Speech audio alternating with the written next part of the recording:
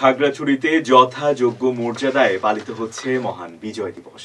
ভোরে খাগড়াছড়ি সদরের মাইনি ভ্যালিস্থ শহীদদের স্মৃতি ফলকে খাগড়াছড়ি মুক্তিযোদ্ধা সংসদের প্রশাসক ও জেলা প্রশাসক মোহাম্মদ রাশিদুল ইসলাম, স্থানীয় সাংসদ কুজেন্দ্র লাল ত্রিপুরাকে নিয়ে পুষ্পস্তবক অর্পণ করেন।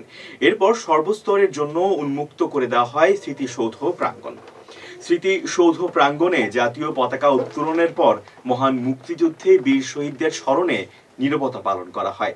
এছাড়া ভোর থেকে বিভিন্ন ধর্মীয় উপাসনালয়ে চলে সমবেত প্রার্থনা। ঘন কুয়াশা উপেক্ষা করে জেলা সদরের বিভিন্ন সরকারি বেসরকারি প্রতিষ্ঠান, শিক্ষা প্রতিষ্ঠান, সামাজিক ও সাংস্কৃতিক সংগঠন শহীদদের শ্রদ্ধাঞ্জলি অর্পণ করেন।